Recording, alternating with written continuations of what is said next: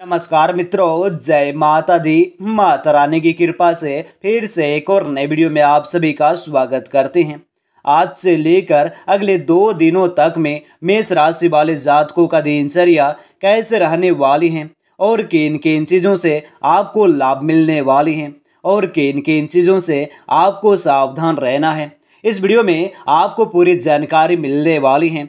Video को पूरे अंत तक देखें और वीडियो का कोई भी पार्ट पसंद आए तो वीडियो को लाइक करें और नीचे कमेंट बॉक्स में कमेंट करें, जय माता दी। और अभी तक आप हमारे चैनल में नए हैं तो चैनल को सब्सक्राइब करें और साथ ही बेल आइकन को प्रेस करें कि ताकि रोज़ाना राशि फल आपको समय समय पर मिल सकें।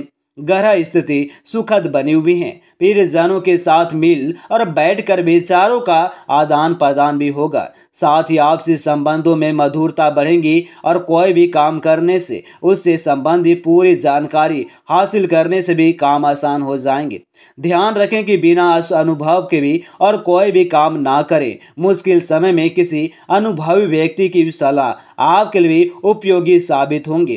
किसी धनिष्ठ व्यक्ति से संबंधित कोई अनहोनी होने से मन बेचैन रहेंगे।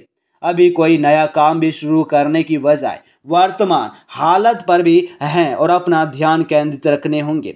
अभी नए अपने कारोबार से जुड़े नए जानकारियाँ हासिल भी करना ज़रूरी है। नौकरी में अपना टारगेट हासिल करने के लिए भी अतिरिक्त प्रयासों की ज़रूरत है।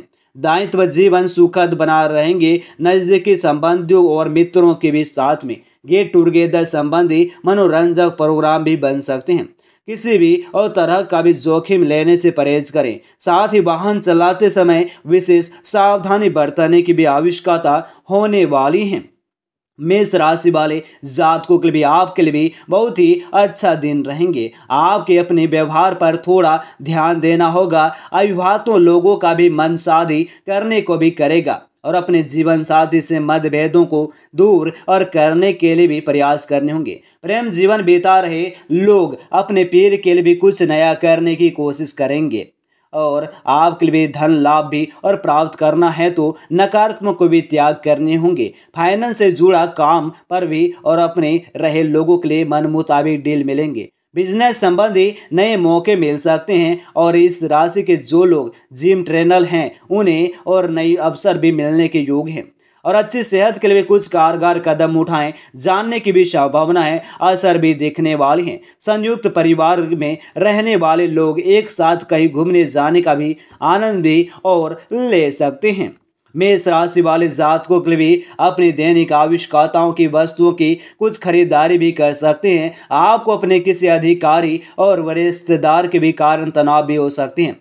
रुपये, पैसे की लेन देन आपको बहुत ही सावधानी से भी गुप्त तरीके से करना होगा। और आपने यदि पहले कोई भी बात छुपा रखी थी तो वह भी लोगों के सामने उजागर भी हो सकती हैं। ससुराल के पक्ष में आपको लाभ होगा। और वाहन प्रयोग में सावधानी बरते तो आपके लिए बेहद इस और आपके लिए भी रहने की पूरी संभावना भी रहने वाली है। मेष राशि वाले जातकों के लिए भी आपके खुद के लिए लिए गए दूसरों के भले के लिए भी जो भी प्रयास किए होंगे, उसका फल आपको मिलने वाले हैं। आपने जो भी तय किया होगा, उसे करने में आप कामयाब भी होंगे। नई चीज़ों के लिए निर्मिताओं के लिए भी आप, आपकी बेताबी आपको लाभदायक नए कार्य में सम्मिलित कराएँगे। और अपनी राय देने से बचना बेहतर होगा। और आपको पता है कि आप सही हैं, और फिर भी आपकी राय को भी और परिवार के भी कुछ सदस्य आपसे दूर जाने की संभावनाएँ बनती हैं।